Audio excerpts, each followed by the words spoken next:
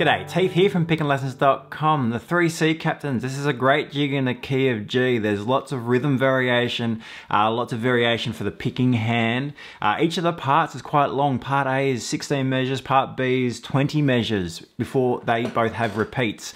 So it's quite a long tune, uh, but some really good techniques in here for us to learn. In a moment, we're going to take a look at the first eight measures of part A just to get us going. But if you head to pickinlessons.com, you'll grab yourself a copy of the chart chart that we'll be working through.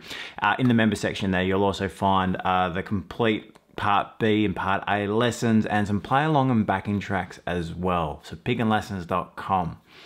Let's have a slow playthrough first, just these first eight measures of this A part to get us going. We'll break down some of the picking techniques. Uh, we'll have a look at some of the rhythm. There's a lot of rhythm variation that goes with those picking techniques as well. So we'll check that out. One, two, one and two and.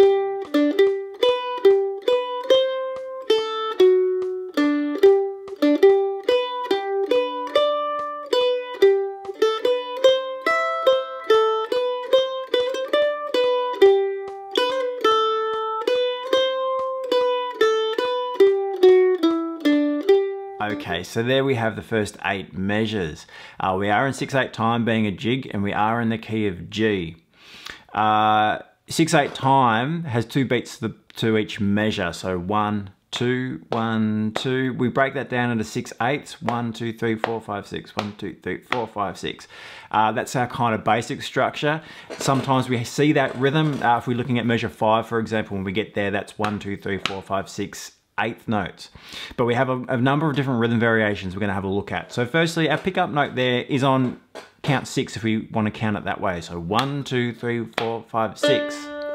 And that's an upstroke so that we can come down on the next beat. What we're gonna try and do with this is really maintain our uh, down pick stroke every time we hit the pulse. That's really important. So doesn't matter what's happening before that, down stroke on the pulse. And you'll see there's a few variations that get quite tricky to do that.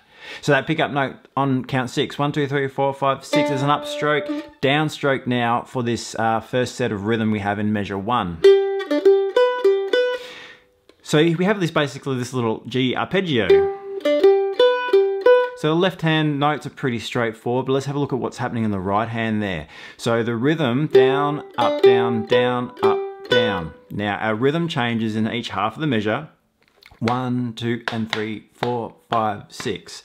Down, up, down, down, up, down. Remembering we're to emphasize the pulse. So down, up, down, down, up, down. We have that downstroke there at the end of uh, the first half of the measure and the beginning of the second half. One, two, and three, four, five, six. That's a good exercise to get us going if you're not familiar with these sort of picking patterns.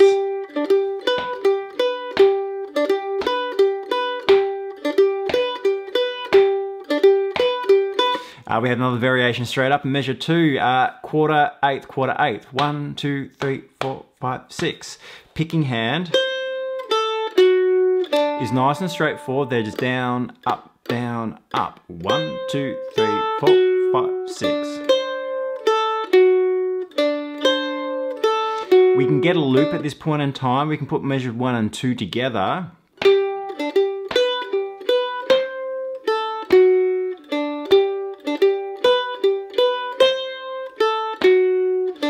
that's a nice one to practice there and you'll get uh, a sense of that pulse in your playing if you can feel that uh, our picking direction is really important so stop for a moment and think about how you're going about that positioning for your left hand is pretty straightforward just in the key of G uh, just a standard G major position there uh, but it's all about the rhythm and the picking directions in this one, so really do keep an eye on that. We'll point out a few more as we go along. Measure three is just like measure one, so remembering that we have down, up, down, down, up, down, picking hand. Measure four. So down, up, down, up, down. One, two, three, four, five, and six. One, two, three, four, five, and six. Uh, you can see there, okay, we've got the quarter note in the eighth, but then we've got that dotted eighth note again to the 16th to the eighth, like we saw in measure one. That rhythm there. Uh, picking that as a down, up, down. Uh, moving on to measure five, this is our most straightforward in terms of rhythm structure that we're going to see. Uh, we have six eighth notes there to fill the complete measure, divide into two groups, the two pulses. So we have the one, two, three, four, five, six. No variation sort of within the rhythm, just nice and straight, essentially, those eighth notes. Um, and it's a really good example of the picking pattern that we want to apply. So down, up, down, down, up, down, down, down, down, up, down, getting that pulse in there.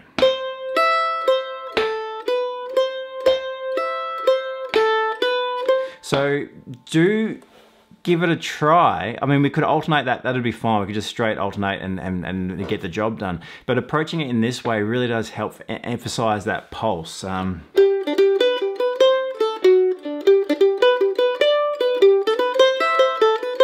up to that point there, measure five, it, it's it's something that you do get used to, and it does make sense once you get on top of it. Uh, playing a jig in, in, in without that kind of method, it can get you can kind of blur the lines a little bit with the structure of the rhythm or, or where the pulse is. So do be mindful of that.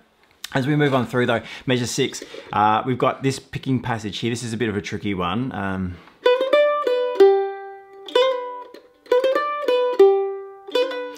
what we have here is a couple of sixteenths to get us going into two eighths. So one and two, three. So if we were to pick this one, we're going down, up, down, up. So we're changing our structure to accommodate the sixteenths and then picking up on the last eighth note of that first grouping. So then we can pick down pretty straightforward there on the next beat. Down, up, down, up, down.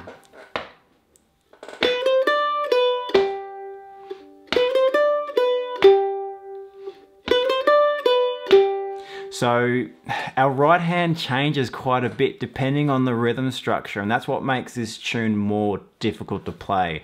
And jigs in general can be more difficult and more challenging for that reason.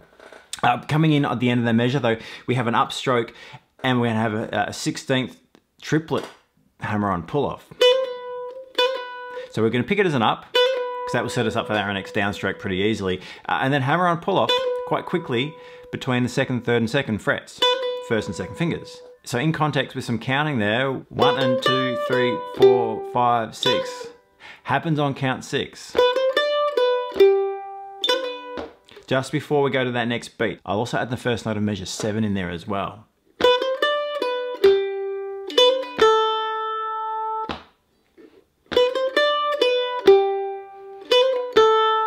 So really get that upstroke, quick hammer and pull off there, those 16th triplets into uh, beat one of the next measure. Uh, and then moving on into this rhythm structure we have again from earlier.